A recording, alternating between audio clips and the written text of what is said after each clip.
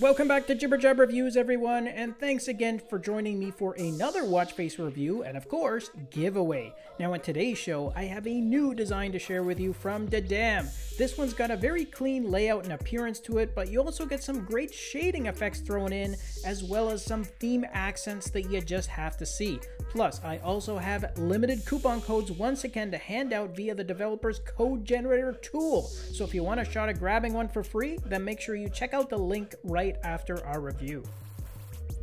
Alright guys, the best parts about this watch face is its simplicity and its 3D-like appearance. Now you get all your information spread out here in a very clean and easy to read layout, and then the developer's done a great job here in adding shading effects to the different display areas, which provides a feeling of depth and like I said, a 3D look. Now in terms of data, well you get a decent amount here as you have both health and activity data shown, with your last recorded heart rate shown up in the 12 position, followed by your date and time underneath that. And then in the bottom section of the watch face are additional stats for your distance moved, your total steps count and goal. And that goal is shown as an interactive bar. And then along the bottom there in the sixth position is another interactive bar which identifies your power remaining.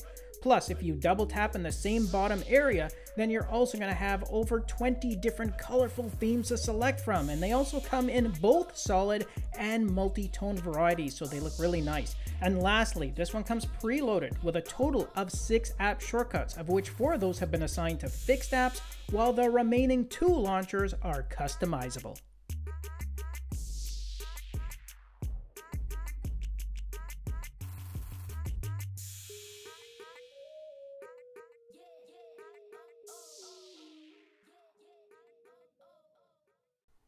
Alright guys, that's my review of this newest design from this developer, and remember that we are handing out limited coupon codes via the link below in our video description. Just keep in mind though that those codes are distributed on a first come, first use basis only. Thanks again for watching our review and for supporting the channel, and don't forget to smash that like and subscribe button before you leave. I'll catch you all in our next video. Until then, take care.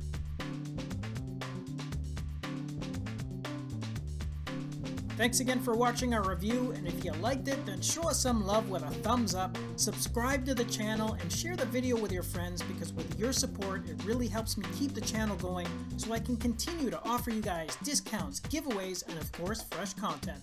I'll see you in the next episode. Until then, take care.